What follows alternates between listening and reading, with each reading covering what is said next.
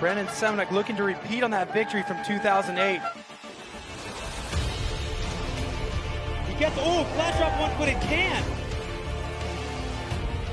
Getting onto the ridge now, he'll be nose bonking. Opposite 360 drop off his lily pad. Oh,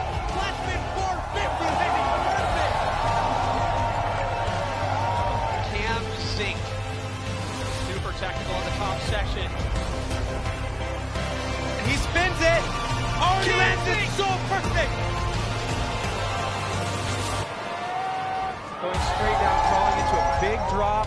Front flip. Getting back up to the ridge. He lands perfect.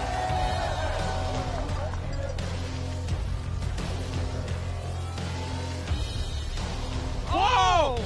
Wow, he doubled that. Backflip, tuck, no hander, great extension. Thomas Genon, one foot table through. Creeping into this start drop.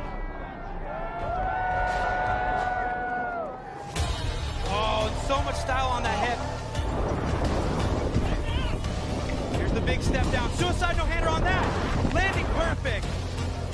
Slow rotated, perfect backflip. 94.75, folks. Look at the surprise on Aggie's face. Right back to the top, defending champ, Andreu Lacondeguy. There's so much pressure on this guy right now. Blowing on the ridge, not taking the hands off like you saw. Two guys, wow! Flat spin, 450 on the hip, holding on. How did he muscle step down there. Flat spin 360 that took him to the victory last year. Still has and another speed. flip on the hip, holding on. wow. But in a sense, he's looking to defend his title because the last time he dropped in, he was the man. Such a high vertical jump, flipping onto the ridge. Oh! Motocross style on the hip for Kurt Sorge. There we go, that big step down, setting it deep again, but holding on, ready for business. The last razor jump. Backflip tuck no hander. Wow! Welcome to the Two-Timer Club, your winner for the 10th edition of Red Bull Rampage. We give you Kurt Sorge!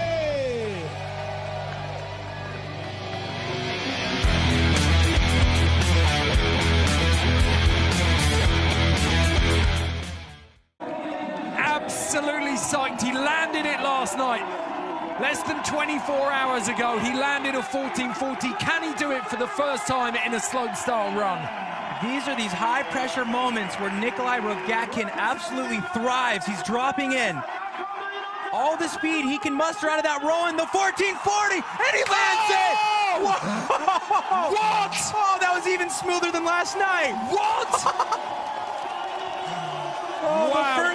time in mountain bike competition at the end of an absolutely banger run, Nikolai Rogatkin drops the first ever front cork 1440.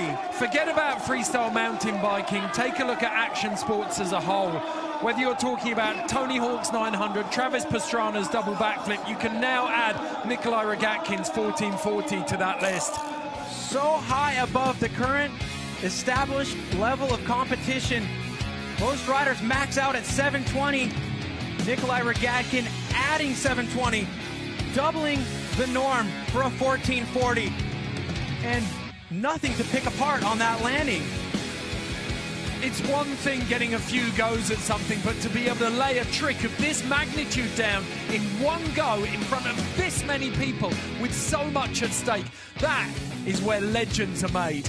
So hard for him, but also hard for the judges. You know they must have run through this scenario in case Nikolai had a perfect run and then landed the 1440. A lot of pressure on their backs now. Nikolai Rogatkin waits for these scores to come in. Overall impression is massive. 19.63, first place for Rogatkin. Get ready for a battle royale. Oh!